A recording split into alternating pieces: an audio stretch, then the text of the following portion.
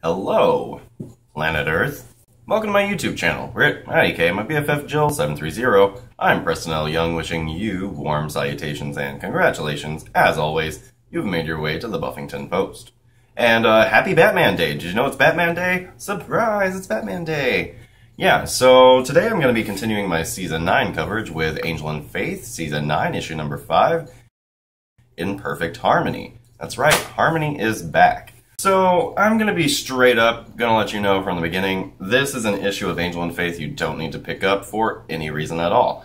Uh, it doesn't really contribute to the story, and the art is just kind of bad. I mean, it's not terrible. I can honestly think of many, many worse artists, including myself, but it's just, it's just not on the level of Angel and Faith for the rest of the season. So, the punchline here is that Angel has an image problem, and Faith has an image problem too, if we're going to be honest. And, you know, vampires, they kind of didn't have an image at all until Harmony exposed them to the world at large. And now everybody knows about vampires, everybody thinks they're super cool, and Harmony is leading the pack. She was on Dancing with the Stars and all this good stuff. She had her own MTV reality show, but now we're going to see what the heck she's doing in England in Angel and Faith Season 9, Issue number 5, in Perfect Harmony. So, here we go. I want the money, I want the fame, I want the whole world to know my name. This is mine, I gotta get it, I got to get it, got, got to get it. Another period. Okay, so this issue opens up and Angel is talking about how he loves the old detective stories and, you know, he eh, he created Angel Investigations to help people, but really and truly he likes the whole film noir aspect of some woman coming in who needs help. Well, a woman comes in and she needs help, but damn it if it isn't Harmony.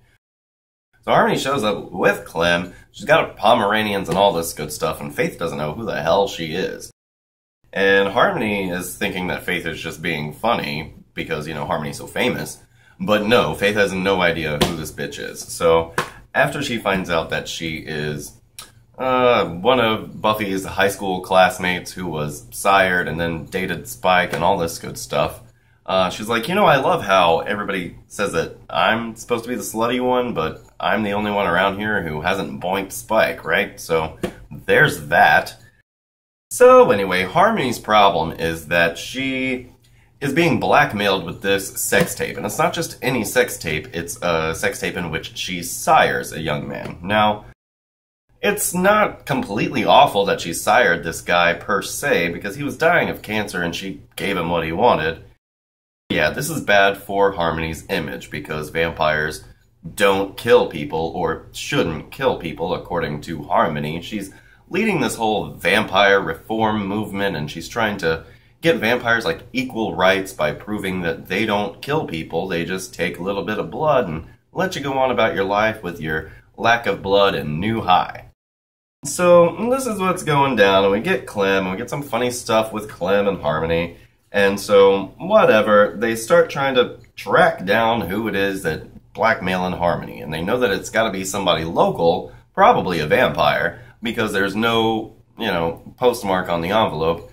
And there are a lot of vampires who are out to get Harmony because they believe that, you know, vampires are superior and all this good stuff. And they want to take Harmony's whole vampire reform situation out the window. So they go and they are dealing with these vampires, and they have zompire guards, and this is what really, really bothers me about this issue, aside from the art, because I just really don't like the art here. It doesn't fit Angel and Faith's dynamic at all. And I guess that's kind of the point, because Harmony doesn't fit the Angel and Faith dynamic at all. But anyway, so here we have these regular vampires, and they have zompires who are their guards. And what what we have here is that the zompires are kind of just mindless or whatever, but we're going to see in season 9 of Buffy that the zompires don't just stand around like zombies. They just don't do that. They're vicious and they only have one thing uh, in their selves, if you could even call it that, and that's kill, kill, kill. So I don't understand why these vampires are just kind of hanging out with these regular vampires. It doesn't make sense. So anyway, as we move throughout the issue, we see that, you know, vampires don't like Harmony, but they don't necessarily mind Harmony, and some of them are actually secretly in love with Harmony.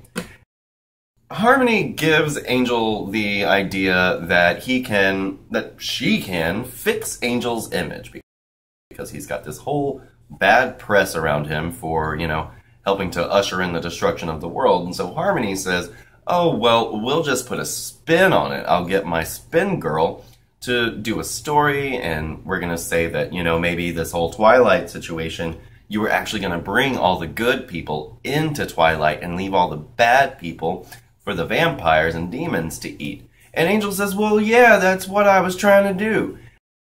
Now, I don't like this because we never get this in season 8. It's never really made clear in season 8 that Angel was actually planning to bring people over into Twilight with him and Buffy. And so I don't like that they just kind of sneak that in here. That's something that we should have dealt with back in season 8. So anyway, we get this whole thing, and the idea is uh, changing your image, to fix your image. And Faith thinks it would be a good idea to, you know, be like Harmony and just let it all go. Let let your past be your past and try and, you know, just put a new spin on yourself. An angel basically throughout the issue was telling Faith that you can't just put a new spin on your life. Your image is the way it is because those are your choices and you can't just forget about all that because what kind of people would we be if we just forgot all the bad shit that we did and tried to spin it like we're all great? Because the fact of the matter is, no matter how many great things they do, they are going to have these pasts. There is a stigma against vampires, and there should be. And there's a stigma against Faith and Angel because there should be. They are dangerous characters, and they don't always do pretty things, and so you can't just paint them as pretty. And that's exactly what Harmony has done. So throughout the issue, they're still like tracking down leads and who could be, you know, blackmailing Harmony. Well, at the end, we find out that Clem is the one who's been blackmailing Harmony this whole time because Clem is actually in love with her. He says, I love you and I want you to appreciate me more and you don't pay me very much and that's why I need to blackmail you. So Harmony forgives Clem, but she politely explains to him that she's not attracted to him or anything like that. And Clem and Harmony are just okay to, you know, potentially have Clem blackmail Harmony, and Harmony's okay to have Clem, you know, back in her little circle or whatever, because, you know, he's basically her bitch. And the issue ends with Angel throwing away this nice little PR stunt that Harmony had devised for him. Leaving Faith with the idea that, you know, Angel's right, we can't just put a new spin on our lives and expect everything to be super perfect for us because that's just not reality.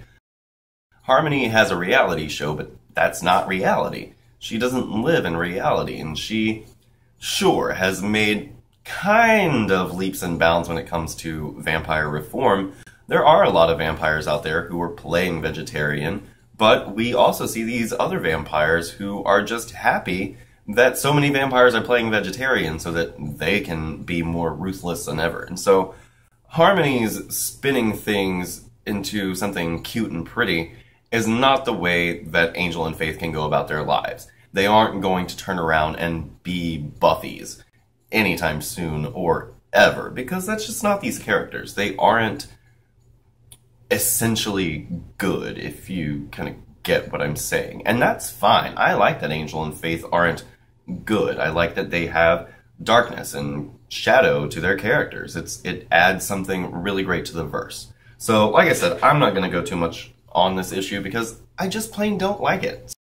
So, have a great day. We'll see you next time. Hope you're having a great 2015 so far. Come right back here to the Buffyngton Post anytime. I've got more Buffyverse discussions, Angel and Faith reviews, Buffy the Vampire Slayer reviews, check out the rest of season 9. Just because this I didn't like doesn't mean that the rest of the issues aren't good. So, we'll see you next time. Bye. When you walk in the bar and you're dressed like a star, rocking your F me pumps, and the man notice you with your Gucci back crew, can't tell who he's looking to. Cause you all look. Everyone knows your name, and that's your whole claim to fame. Never miss a night, cause your dream in life is to be a footballer's wife. You don't like players, that's what you say, what you really wouldn't.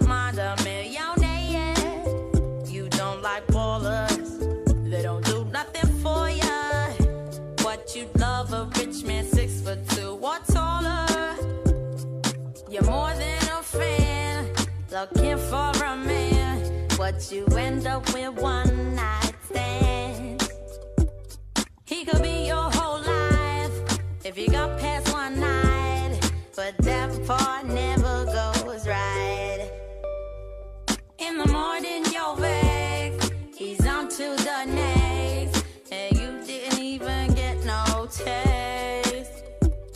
Don't be too